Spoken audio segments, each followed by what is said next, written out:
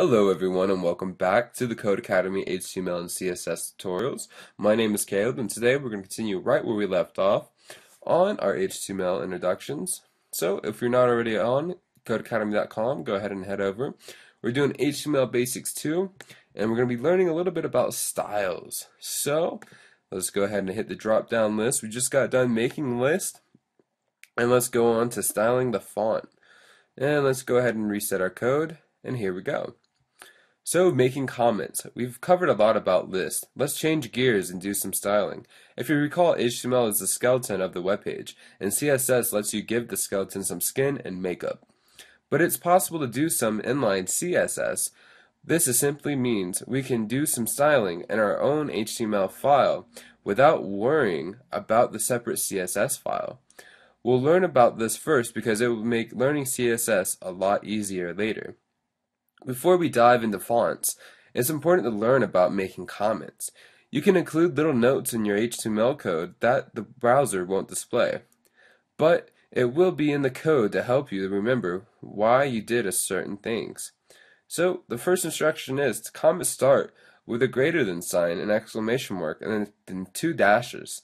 And then they end with two dashes and a less than sign, like this.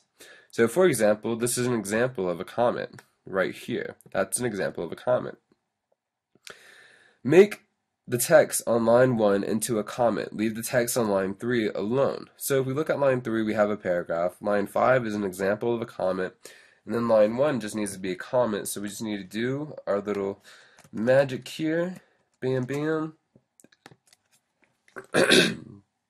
As you can see, since we did not in the comment, the rest of the whole page is still in a comment. So make sure you close your comment out like so. And now we see that it's back and we see our paragraph, but leave me visible to the user. So let's go ahead and save and submit our code. Way to go, let's start the next lesson. And let's reset our code. Here we go.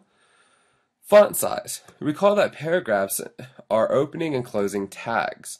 We can give tags more instructions by including attributes into the opening tag.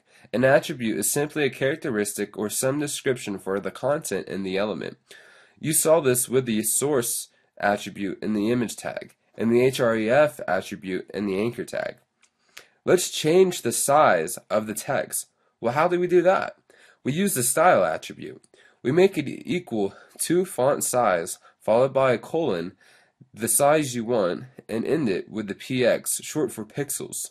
For example, we see in right here, we see a paragraph, and then we see a style attribute equal, and then we're actually specifying what we want to edit or modify. In this case, we're using font dash size because we want to change the font size. And then we're setting that, instead of using an equal sign, we're using a colon, and then we're saying we want it to be set at 12 pixels. So on line 7, make the text size 10 pixels. So if we go to line 7, what we want to do is click on the first opening paragraph tag. And now we want to add our style attribute by typing style equals, and then we want to make quotation marks. Now we're going to use our new font dash size, and we're going to use colon, and we're going to make it 10, and then px for pixels, and that's that. So if we look over here, we see that some text for you make tiny. So right here, we see that our text is pretty small because it's only set to 10 pixels. Now on line number 8, we're going to do the same exact thing by doing the style. But this time, instead of making the font size 10 pixels, we're going to make it, well, 20. Who would have known? So now you see that our font size is now 20 pixels for the second. Now, last but not least, on the third, on line number 9, we're going to do style once again, and we're going to do font dash size, colon, and we're going to change our pixel size to 40 pixels. So now we have some super big text for you to make super big, and then we have some normal text, and then we have some super small text. So if you're having trouble with font sizes, reset your browser zoom by pressing Command 0 or Control 0. So, I mean, if you were to do that, we're back there, but let's go back right there. That looks good for us. Alright, and let's save and submit. And sweet, way to go, we get the green light. And let's reset our code. Okay. So now that we learned a little bit about font sizes, well now let's learn about font color. What is awesome about the style attribute is that we use it a lot. And we can use it with many different tags, not just the paragraph tag. Let's now change the colors of our text in a heading. To change the color of text, simply add the style attribute in the opening tag. Then make the style equal to color colon blue or whatever color you like. For example, down below we see a heading 2 tag with a style attribute and the color is going to be set to red.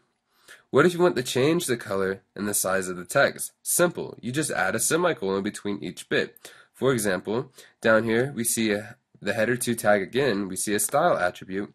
We see color colon green and then we see a semicolon because that's ending the first command and then we see font size colon 12 pixels. A full list of available colors can be found here. And note, do not type something like H2, H2 style, color green, font size 12 because that will not work because you're making two H2 elements and that's, that's just not going to work. If you incorrectly nest your HTML tags like that, your code will not pass. Obviously, change the heading color to green and its size to 16. So we see the big heading. What we need to do is make one style attribute and then equal, then quotation marks. And the first thing it wants us to do is use our CSS and change the color. So we're just can do color colon green. And spaces really don't matter, but spelling does. So there we go. So color green, and then make our semicolon. And now we want to do font dash size, and it wants us to be 16 pixels. So there we go. Now change the color of the first paragraph to violet. So we just make another inline style here. And we're going to say color, colon, and then violet. And now we see a, that a giant bear and a little duck were friends is now violet. Now number three says change the color of the second paragraph to red and that's font size to 10 pixels. So if we go to our second paragraph, add another inline style, color oop, not color, but oop, color, and then we're gonna say red, and then that changes red, and then we just do font dash size. Don't forget your semicolon there, guys, and then we're gonna do 10 pixels as well. So everything looks good. Hopefully everyone understood what we did there. Kind of went a little quick, but just to recap, H1 style, color, colon green semicolon font dash size colon 16 pixels. Remember anytime that you're doing more than one um, style change in your inline style, for example, when we're changing the color and the font size, we're going to separate each command with a semicolon. And you could have hundreds of these. Or you can only have two of them. It doesn't matter. And then for the second paragraph, we just say color and then violet because we changed the style. And then for our third par or second paragraph, really, um, not not first or third, but anyways, yeah, for our, our last paragraph down here, we just say style, color, colon, red, semicolon, font dash size, 10 pixels. And remember, you don't have to have spaces. You can have 100 spaces between here. You can have zero spaces or one space. As long as you have color, colon, red, the browser's not going to care how many spaces you have or blank space or whatever you want to call it because it's just going to render and read the text. Okay, so everything looks good. Let's try and save and submit. Oops, we did not get it. Looks like your header's font size is 16.366 blah blah blah instead of 16. Okay, so there's something wrong with our header. What is wrong with our header here? Change the heading color to green and its size is 16 pixels. Did we not change to 16 pixels? We did. And maybe if we do command 0 and then click it. Okay, so now, okay. So if you were to get that error, just reset with command 0. I zoom in just because we are, um, I'm at 110% here because I'm making the video. It's easier for you guys to see. But if you guys don't get the green light, just hit zoom out or hit command 0 or control 0 and get back to 100%. That way your text will be the right size. As you saw, mine was a little bit off because I was zoomed in. So let's reset our code here, and there we go. So now we're going to learn about font family. We've covered font colors and font sizes, but we want more power. We want to decide what font type to use. We can do this by using font-family like this. So as you can see, we see an H1 style again, uh, we, we see an H1 header, and then we see a style attribute. But this time we're specifying the font-family, colon, and then we're going to use the Arial font family, and we're going to say title. So title would be now an Arial instead of whatever it was before. So first we wrote H1 big title H1. So you see that right here, and you see that the font family is Arial. Then inside the opening H1 tag, we added a style attribute and set it equal to the font family Arial, which we see right here. As you can see, it's color-coded in green. This style in the H1 tag with the Arial font. We can do the same for other tags. So we could have a list item. For example, down here we have an li item, style, font family, Arial, hello. Okay. So here's a list of available fonts. If you want to click on it, go check out all the available fonts. But we're not going to do that. But feel free to go ahead and click that just so you can get acquainted with them. So number one, change the font size of the first list item, li, to 16 pixels and use the font Arial. So if we look in our text or in our HTML file, our first list item is going to be this is a big Arial. So we're going to add an inline style by typing style equals in quotation marks. And now what we're going to say is font dash family colon and then we're going to set it to Arial. Now add a semicolon, then font dash size colon, and it wants us to set it to 16 pixels. And as you can see, we see it. Now change the font size of the second listed item to 12 pixels and the font to Verdana. So go back here to our second one, type in style again, font dash family, and it's going to be Verdana.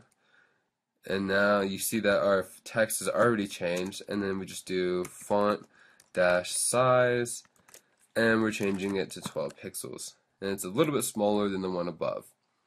Now it says change the font size of the third list item to 10 pixels and the font to impact. So let's go down here to our third list item. Do style and now let's do font dash family.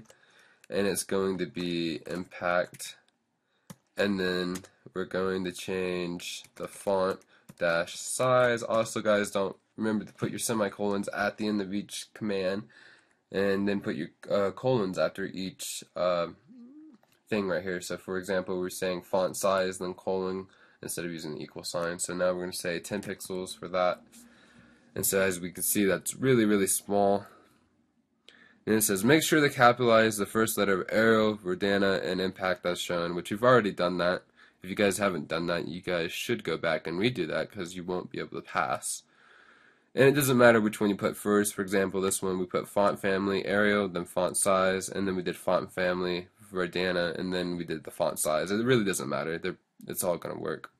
So let's try and save and submit our code. Oh, so we're still getting that error. So I'm going to go ahead and reset my thing to 100%. Now we got the green light, so way to go. And I'm going to zoom back in here so you guys can see what I'm doing. And I'm going to reset my code. so recap. Awesome job. You've now got control of your web page, including the color, size, and type of your font. To recap, we can use the style attribute in the opening tag like so. Font-size, 14 pixels, color orange, font family Bodoni. Now, Below we see a paragraph, we see an inline style, we see the font size set to 14 pixels, we see the color orange, and then we see the font family to Bodoni. It's important to know that you can use the style attribute for paragraphs, headings, and even links. For the paragraph on line 7, make the font have a size of 20 pixels. So if we go here on line 7, add an inline style, and now what it says, it wants to do a font dash size and we want to set it to 20 pixels. Add a semicolon, change the color to blue, add another semicolon, and then change font dash family, and then we want to make it to Arial. So everything looks nice and pretty right there. Let me hit Command 0 again so we can zoom out and pass this one. So congratulations, we finished that. Congratulations guys, you just earned another badge. And stay tuned for the next one. We get a little more nice styling, We learn a little more CSS. If you like the video, make sure to thumbs it up, comment, subscribe for more on future videos. Get stuck, drop a comment, I'll slide one back your way. Hopefully this stuff is helping you guys out. And I know we kind of went kind of quick, but I mean, I feel like this is kind of self-explanatory when it comes to font sizes and um, everything that with the inline style. I mean, it's it's pretty simple, guys. I mean, if you just follow it from the text and follow from what I'm saying, I mean, yes, there are a lot of different attributes you can put in here, and we'll eventually cover all those. So just don't even worry about them right now. We're just taking it step by step, introducing one attribute, one font family, one font style, you know, one thing at a time. Move forward along. By the end of this course, you're gonna be like, wow, I can create a pretty badass website, and I know a lot about HTML and CSS.